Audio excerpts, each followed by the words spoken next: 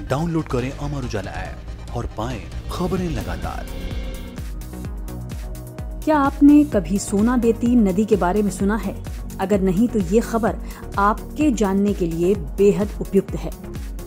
दरअसल, थाईलैंड में एक ऐसी नदी है जहाँ पानी के साथ साथ सोना भी बहता है। इसी खासियत के चलते ये गोल्ड रिवर लोगों के लिए चर्चा का सबब बनी ही रहती है। ये खास नदी थाईलैंड के गोल्ड माउंटेन इलाके में बहती है, जो थाईलैंड के दक्षिणी हिस्से में मौजूद है। इसकी सीमा मलेशिया से लगती है। बताया गया है कि इस इलाके में लंबे समय से सोने का दरअसल खनन होता रहा है, जिसकी वजह से इस नदी में पानी के साथ साथ सोने के कई छोटे छोटे टुकड़े भी मौजूद रहते हैं।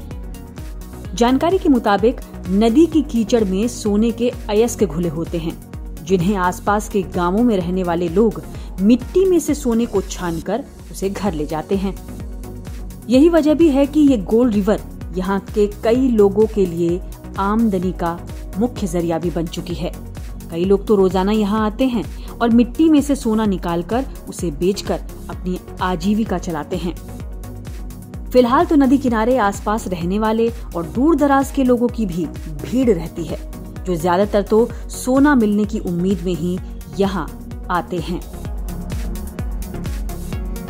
Video desk Amar Ujala dot com.